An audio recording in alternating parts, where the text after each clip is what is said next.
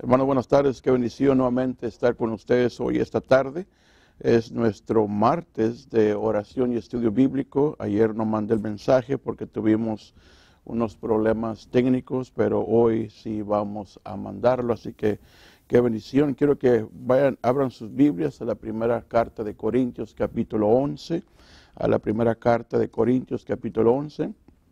Hoy estaremos enseñando sobre el matrimonio estamos enseñando, es nuestra tercera lección, tal vez ah, la prolonguemos unas dos o tres más martes para enseñar sobre el matrimonio, así que gracias a Dios enseñamos acerca del origen del matrimonio en la primera semana.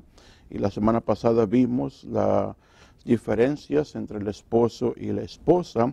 Hoy vamos a ver algo ah, acerca de la responsabilidad del el matrimonio. Así que la primera carta de Corintios vamos a, leer unos versículos y después de esto vamos a orar. Primera de Corintios, la primera carta de los Corintios, capítulo 11, versículo 1, 2 y 3. Ah, os alabo, hermanos, porque en todos acordáis de mí y retenéis instrucciones tal como os la entregué pero quiero que sepáis que Cristo es la cabeza de todo varón y el varón es la cabeza de la mujer y Dios la cabeza de Cristo. Padre, gracias te damos, Señor, por ser un Dios santo, por ser un Dios bueno. Venga a tu presencia, alabando y glorificando tu nombre, Señor. Ayúdanos, Señor, a enseñar tu palabra hoy, este martes. Gracias en Cristo Jesús. Amén y amén. Hace unos meses estuve predicando allá en México, en el área de Chiapas, hermano, y estaba en una conferencia y el pastor con el que estaba predicando nos contó un chiste acerca del matrimonio. Era, y no, no soy bueno para contarlos, pero ahí le va. Ah, había un matrimonio que tenía problemas ah, matrimoniales y los dos estaban allí enojados, molestos, tal vez al punto de separarse. Y estaban ellos en altas horas de la noche, acostados, ahí dormidos, y de repente se escuchan algunos ruidos y la señora levanta, despierta bruscamente al marido y él dice, alguien está entrando a la casa, ¿por qué no ah, ladras para que sepan que tenemos un perro en casa? Y el esposo enojado, molesto, le dice a la esposa, ¿por qué no te pones a la ventana para que vean que tenemos una bruja en casa? Y es el chiste que nos contó y, es algo triste el poder llegar ah, al matrimonio de esa manera si su matrimonio es, eh, eh, es lo que de esa manera hay algún distanciamiento matrimonial, hay problemas matrimoniales. Y la razón que la mujer empieza a pensar de esa manera de su esposo, o el esposo llega a pensar de su esposa de esa manera, es porque han fallado a la responsabilidad que cada uno tiene. Hoy este día veremos el grande desafío que el marido tiene, su responsabilidad en el matrimonio, su responsabilidad en el matrimonio. Recuerde una cosa, usted, mi estimada hermana, mi estimada esposa, usted no se casó con un perro, pero es probable que usted le haya enseñado a ladrar. Y usted, mi estimado esposo, usted no se casó con una bruja, pero es mi, e, es mi, mi pensamiento que usted le haya hecho una bruja. Así que hoy, esta mañana, miraremos acerca de el rol, la responsabilidad del matrimonio o la responsabilidad del esposo en el matrimonio.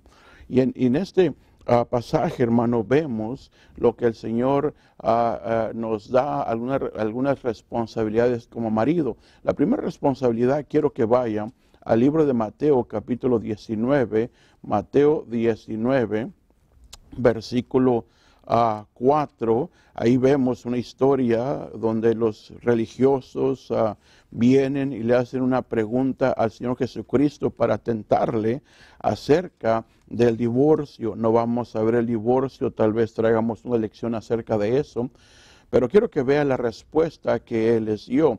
Él respondió y les dijo, ¿no habéis leído que el que lo hizo, los hizo al principio, varón y hembra los hizo?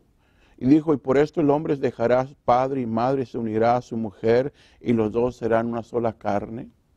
Ahora quiero que vea que eh, dice el Señor en la respuesta que les da, no habéis leído que al que los hizo al principio varón y hembra. Vemos, vimos hace dos semanas, hermano, que el Señor originó el matrimonio. Fue idea de Dios, no fue idea del hombre. El hombre con sus ideas arruina todo lo que se llama matrimonio. Si el hombre si el hombre no dejara su responsabilidad, hermanos, no llegaran a hacer la pregunta al Señor Jesucristo como se la hicieron. Así que vemos que la primera responsabilidad es regresar al principio. Ahí en el principio nos enseña la primera responsabilidad del varón, del esposo. La primera responsabilidad de él, hermano, es agradar a Dios. La primera responsabilidad del esposo es agradar a Dios. Antes de que la esposa fuera formada, que la esposa fuera hecha, la mujer fuera formada, Dios formó al hombre con la idea principal de agradarle, de alabarle, de glorificarle. Y, ese, es el problema de hoy en día, cuando el hombre, el esposo, se desenfoca deja de agradar a Dios, deja de enfocarse en alabar a Dios, deja de, glorificar a Dios, deja de hacer las cosas que, Dios hace. Y uno de los resultados de esto este es, es un distanciamiento matrimonial, es fallar la responsabilidad que tiene como su esposo. Si él, él está agradando a Dios, si él está sirviendo a Dios, si él está haciendo lo que Dios dice, déjeme decir una cosa, hermano. Ah, vas a hacer lo que eh, tu obligación con tu esposa. Y ahorita vamos a ver la segunda responsabilidad. Entonces, la primera responsabilidad es agradar a Dios. Ahora, hermano, quiero que vea esto, esposo. Dios desea que el esposo ah, sea un esposo completo, no perfecto pero un esposo completo. Cuando digo un esposo completo, estoy hablando, hermano, que sea un hombre maduro no un niño. Por eso vemos allá, allí en, ese mismo capítulo de Mateo, vimos algo muy interesante que, nos dice el Señor allí en, la segunda, en el segundo versículo que leímos en el capítulo el 19, versículo 4. Mire, mire, versículo 5, y dijo, por esto el hombre dejará padre y madre y se unirá a su mujer y los dos serán una sola carne. La madurez del matrimonio o del esposo se basa eh, eh, eh, en dónde llevas a tu esposa a vivir. Y mire, por eso que usted debe, debe de madurar debe de alejarse de, su, de, su, de, su, de sus familiares, debe alejarse de, su, de, sus amigos y de terceras personas. ¿Para qué? Para que usted pueda agradar a Dios y así usted pueda agradar a su esposa. Pero eso llega con la madurez. Ahora, hermano, hay muchos, muchos maridos que son los niños, siempre van con su mamá, corren allí con mami, corren a, a, ver qué está haciendo mami. Eh, su esposa le, no les da de comer y van corriendo, mami. Es que esa vieja con la que me casé no me da de comer y su mamá ahí está también chiflándolo, mimándolo. Pues véngase, mi hijito, a, véngase a comer. Yo sí lo quiero mucho, no esa vieja. Te dije que no te casarás con ella, te hubieras casado con la otra, pero bueno, ya lo hiciste. No, no, no, hermano. Dios quiere que seas maduro. No perfecto, pero sí maduro. No solamente maduro, pero Dios quiere que seas un hombre esforzado, un hombre que, que pueda soportar, un hombre que pueda mantenerse, un hombre, un marido, hermano, que pueda soportar los conflictos que trae el matrimonio. Que sea un hombre que busque a Dios. Ahora, Dios quiere un hombre espiritual, hermanos. Por eso en Efesios 5, 18 nos dice el Señor que, no, que no debemos de embriagarnos con, con el vino, que, sino que debemos de embriagarnos del Espíritu Santo. ¿Para qué? Para ser llenos del Espíritu Santo. Es muy importante que para el marido ser un hombre completo debe de caminar con Dios, debe de estar en el camino de Dios. Y luego antes de eso vimos que también debe de apartarse de terceras personas. Dios te hizo, hermano para que agradaras a tu esposa, pero vas a fallar si fallas en la primera responsabilidad. La segunda responsabilidad, si no estás haciendo la primera, vas a tener problemas en la siguiente responsabilidad que te voy a enseñar en unos cuantos segundos. Entonces, la primera responsabilidad del matrimonio es que agradar a Dios. Marido, ¿estás agradando a Dios? ¿Está leyendo la Biblia? ¿Está instruyendo a su esposa y sus hijos en el camino del Señor? ¿Está usted orando? ¿Es, usted, ¿Es activo usted en la iglesia donde va? ¿O simplemente es un calentabancas? Hermano, su responsabilidad, de, primeramente, ante todas las cosas, es agradar a Dios. Es, es hermano, estar agradando a Dios, es tener contento a Dios, ser, ser hombre maduro, ser esforzado, alguien que busque con todo corazón a Dios. Pero cuando te alejes de este principio, mi estimado esposo, vas a tener problemas con la siguiente responsabilidad. La siguiente responsabilidad, hermanos, que leímos allí en la primera carta a los Corintios es esta. Fíjate lo que el Señor nos dice en versículo 2, 3. Pero quiero que sepáis del capítulo 11 que Cristo es la cabeza de todo varón. Y el varón es la cabeza de la mujer y Dios la cabeza de Cristo. La segunda responsabilidad es esta, es ser la autoridad que Dios desea en el matrimonio. Mi estimado esposo, usted es la cabeza de el matrimonio o de su esposa. Y no dice la palabra de Dios, es cabeza de la mujer. Ahora, hermana, feminista, no se mortifique, después vamos a enseñar esto más adelante, tal vez la siguiente semana estaremos hablando de la responsabilidad de la esposa, así que yo sé que ahorita va a decir amén y esto y lo otro, pero más adelante a lo mejor ya no dice amén. Pero mire, la segunda responsabilidad es de que el marido debe de ejercer la autoridad, claro, de acuerdo al Señor. Ahora, quiero que vea algo muy interesante, hermano de acerca de, ser la cabeza, de hacer la autoridad, esto. Quiero enseñarles, hermano, un versículo aquí en Mateo, Mateo 25, discúlpeme, Mateo 20, quiero que vea aquí en Mateo 20 acerca lo que el Señor nos dice de la autoridad, acerca lo que nos dice de los gobernantes. Y aquí el Señor nos da un patrón, nos da una manera de cómo nosotros debemos de gobernar. Mira lo que nos dice en Mateo 20, versículo 25. Mateo 20, 25. Dice, ah, cuando los diez oyeron esto, se enojaron contra los dos hermanos. Entonces Jesús llamando le dijo, ¿sabéis que los gobernantes de las naciones se enseñorean de ellos y a los que son, a los que son grandes ejercen sobre ellas potestad? Mas entre vosotros no será así, sino el que quiere hacerse grande, hablando de autoridad entre vosotros, será que vuestro servidor, y el que quiera ser el primero entre vosotros será vuestro siervo, como el Hijo del Hombre no vino para ser, servido, sino para servir y, y para dar su vida en rescate por muchos. Mire algo muy interesante que el Señor nos enseña que para gobernar, para tener la autoridad que nosotros, nosotros debemos de tener, nosotros debemos de ser siervos. Eso quiere decir, mi estimado esposo, que un siervo es, un, siervo, es un servidor de aquellos que están bajo su autoridad. Eso quiere decir que usted es un siervo de su esposa. Hmm. Pastor, pues, ah, ah, pues no que mi esposa debe sujetarse a mí. Y no, no, eso lo vamos a ver después. Pero quiero que entienda que usted es un siervo de su esposa.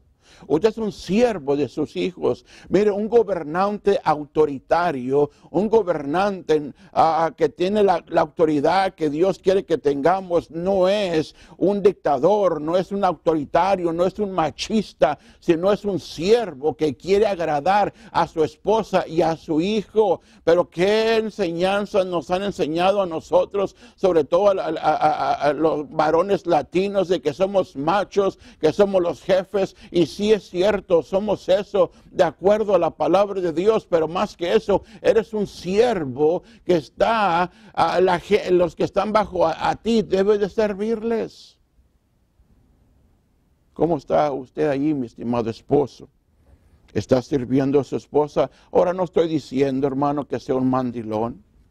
No estoy, no, estoy diciendo que usted haga lo que ella quiera, sus berrinches y, todo eso. Y estimada hermana, después vamos a ver eso. Pero mire, eh, eh, eh, eso no, no, está diciendo. Simplemente que usted sea un siervo a ella, que usted le sirva. ¿Para qué? Para que ella pueda estar contenta, para que ella pueda hacerlo la, esposa que usted quiere que desea. Yo no, yo no estoy diciendo, hermano, que, que usted haga su quehacer. No, no, no, yo estoy diciendo que usted le sirva a ella.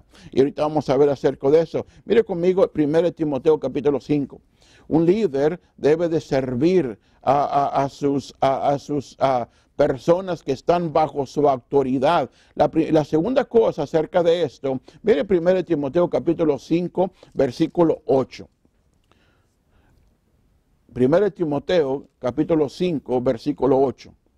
Porque si alguno no provee para los suyos y mayormente para los que de su casa ha negado la fe, y es, por, es peor que un incrédulo. Entonces, hermano, como líder, debe de buscar no solamente ser un siervo, pero debe buscar el bienestar de los que están bajo su autoridad.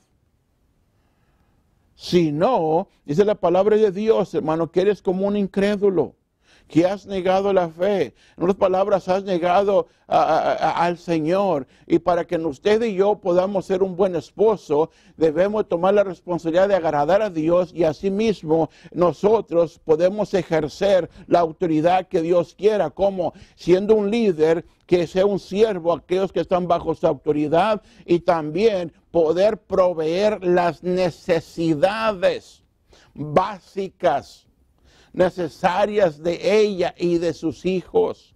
Ahora, yo no estoy hablando, hermano, de, de, los antojos de la esposa, no estoy hablando de los antojos de los niños, no estoy hablando de las necesidades básicas de ellos, el alimento, el vestir, el tener un techo. Ahora, Ah, si usted puede darle una casa grandísima y un carro lujoso, gloria a Dios por eso. Pero hermano, pero si usted no tiene la habilidad para eso, usted solamente eh, eh, eh, dele lo que usted pueda darle y Dios se va a encargar de su esposa y de sus hijos. Debe de gobernar, no solamente hermanos, debe ser un siervo, debe de, cuidar de ellos, debe de estar con ellos presente, pero también, mira lo que nos dice aquí en la misma carta de Timoteo, en el capítulo 3, versículo 4 y 5, mira lo que nos dice. Que gobierne bien su casa, que tenga a sus hijos en sujeción con toda honestidad, pues el que no sabe gobernar su propia casa, ¿cómo cuidará de la iglesia de Dios? Mi estimado hermano, hay muchos hombres que quieren arreglar otras cosas, pero, pero no se pueden arreglar a sí mismos. No, no solamente debe ser un siervo, debe de, ser, de buscar el bienestar de ellos, pero también debes, hermano, de saber, de entender, de comprender cómo gobernar tu casa. Usted es la autoridad, no la mamá. Usted, la que debe de, usted es el que debe de ejercer la disciplina. Usted es el que debe de, enseñarle a sus hijos lo, correcto y lo, malo. Usted es el que debe de corregirlos a ellos. ¿Mm? Pero ¿qué pasa? Se lo dejamos a la mamá. Oh, hermano, ¿cómo me molesta a mí? Que el hombre no se la, que sí, se cree autoritario y manda a la esposa a buscar algo. Ay, ay, ay. ¿Cómo me molesta, hermano, cuando el esposo desea algo y en lugar de, él venir a preguntar, manda a la esposa a hacerlo? Yo pensaba que eres la autoridad. Yo pensaba que eres el hombre. Yo pensaba que, que, que, que, podías enfrentar eso. No, hermano, tú ve. Afrenta todo eso, pero mándase la señora entre medio. ¿Mm? Ah, vas a un restaurante y dejas que la señora pague. ¿Mm? No, hermano, tú eres el que debe de pagar. No, pastor, pero yo le el dinero, no importa. Eh, dile que te lo doy por debajo de la mesa y tú pagas. Que, el mesero, que la mesera vea que tú eres el líder, líder, que tú eres el jefe de jefes, que tú eres el Señor. Pero no. Debe de saber gobernar. La relación de Cristo, hermano, con la iglesia nos sirve de ejemplo para esto. Entonces, la primera responsabilidad es que agradar a Dios en el principio. La segunda responsabilidad, hermano, es ejercer la autoridad de acuerdo a la Biblia, de acuerdo al Señor, de acuerdo a lo que Dios nos indica. Un líder de autoridad sirve a los que están bajo su autoridad. Busca el bienestar de los que están bajo su autoridad.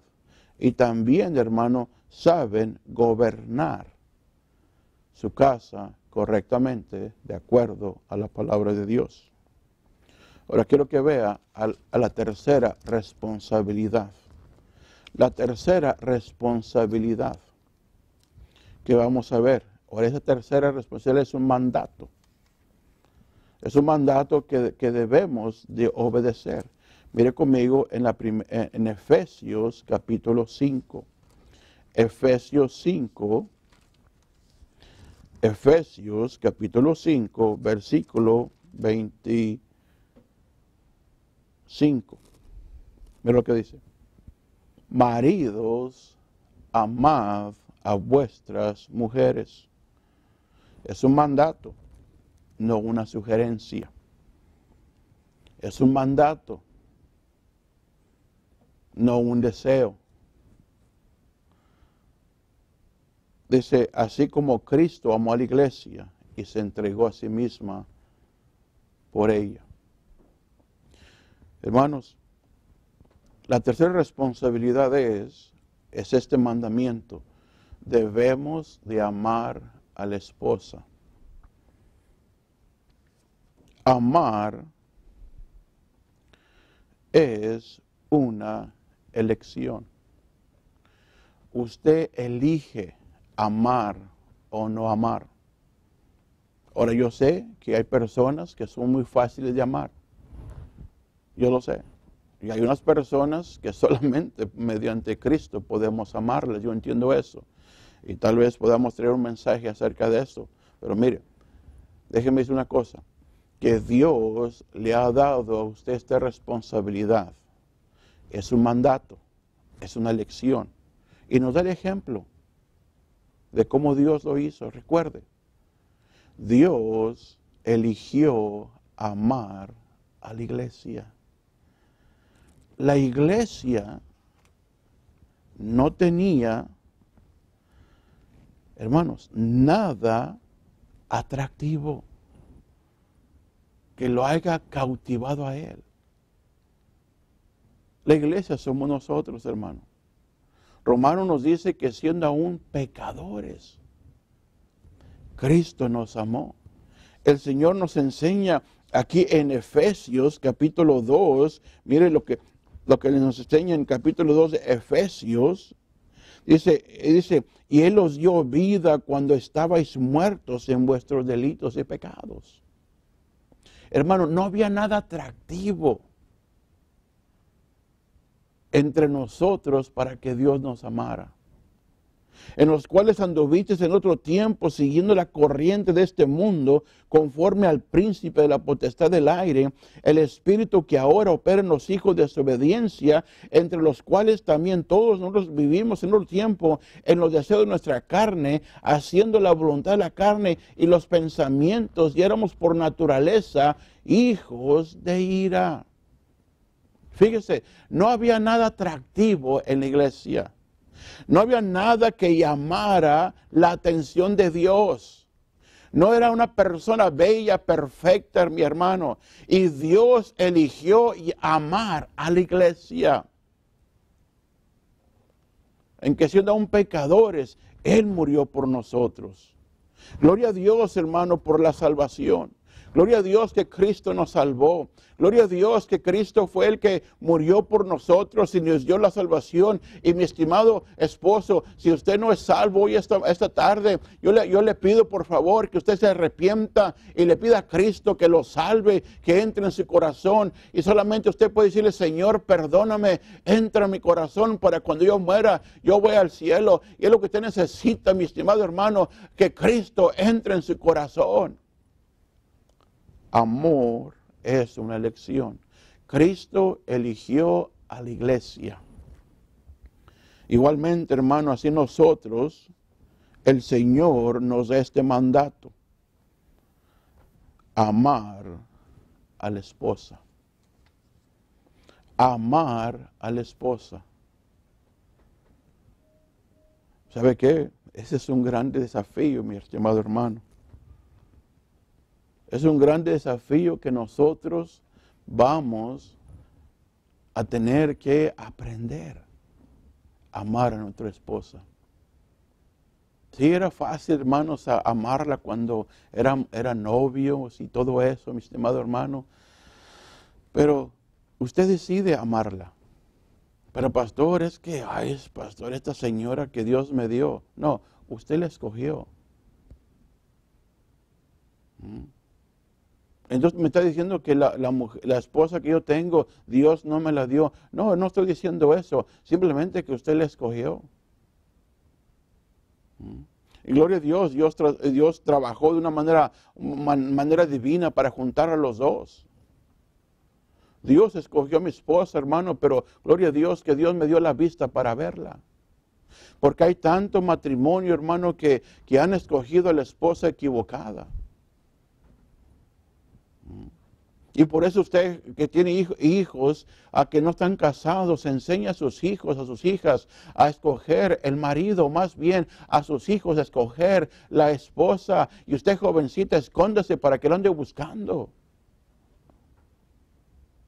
Pero el amor es una elección. Usted elige.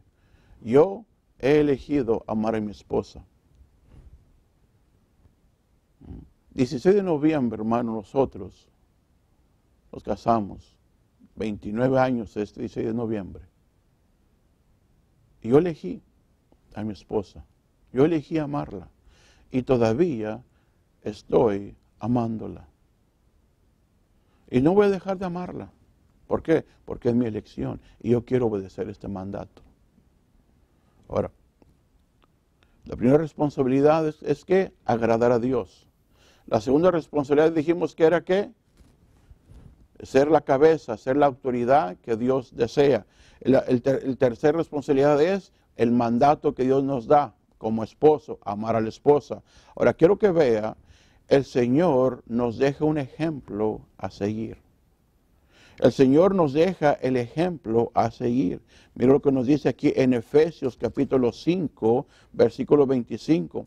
Así como Cristo amó a la iglesia y se entregó a sí mismo. Ahora, ¿cómo amó Dios o Cristo a la iglesia? Se entregó a sí mismo. ¿Qué quiere decir? Que su amor fue sacrificial. Quiere decir que Él se entregó a sí mismo.